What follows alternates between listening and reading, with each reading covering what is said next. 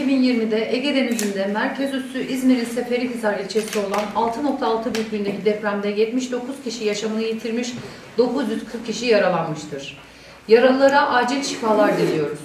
Başta İzmirliler olmak üzere saygıdeğer halkımızın hepimizin başı sağ olsun. İzmir İnşaat Mühendisleri Odası gerekli incelemeleri başlatmış durumda.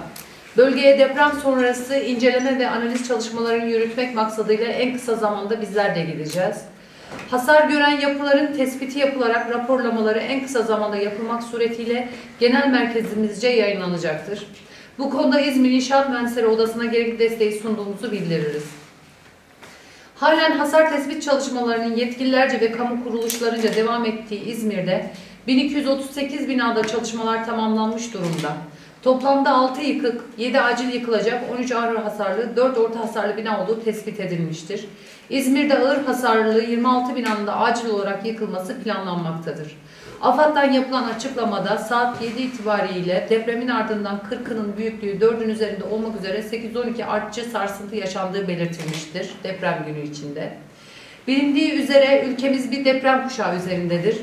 Bizler de bu gerçeği bilerek gerekli tedbirleri almakla yükümlüyüz.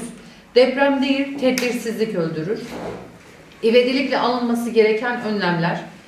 Ülkemizin mevcut yapı stoğunun sorunlu olduğu bilinmektedir. Bu nedenle bir an önce ülke genelinde ve ilimiz Şanlıurfa'da yapı stoğunun envanteri çıkarılmalıdır.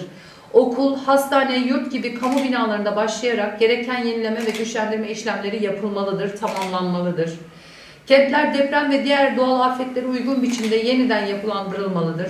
Kentsel dönüşüm projeleri yeni rant alanları yaratmak amacıyla değil, afet riskini en aza indirmek ve kent güvenliğini sağlamak amacıyla yapılmalıdır. Depreme hazırlıklı olmak için mevcut binaların güçlendirilmesinin yanı sıra yeni yapılacak binaların depreme karşı dayanıklı olarak inşa edilmesinin sağlanması da önemlidir.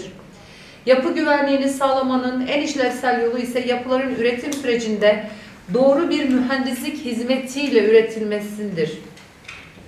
Zemin etütünde projelendirmeye, malzeme kalitesinden yapım faaliyetine kadar bina üretim sürecinin her aşamasında alınacak mühendislik hizmeti yapıların güvenli olmasının en önemli teminatlarından birisidir.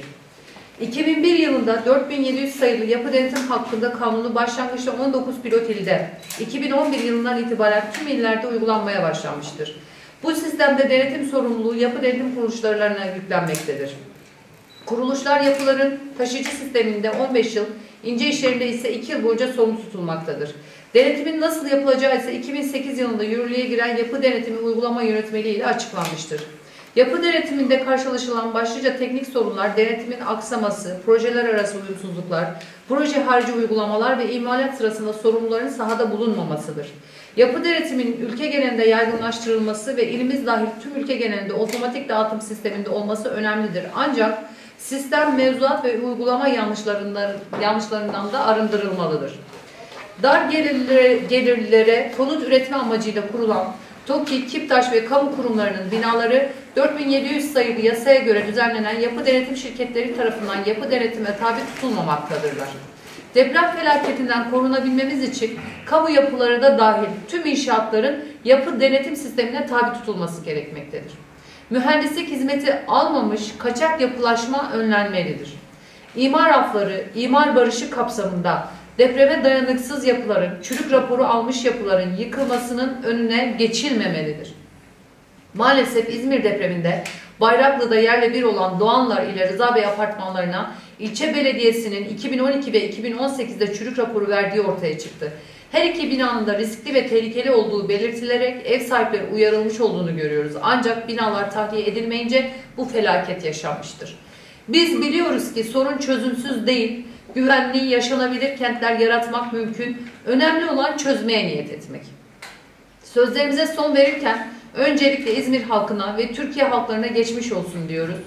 Bizler Şanlıurfa İnşaat Mühendisleri Odası üyeleri olarak gerek şubemizde gerek İzmir İMO ile deprem sonrası yürütülecek çalışmalarda her koşulda meslektaşlarımızın ve sayın halkımızın yanındayız.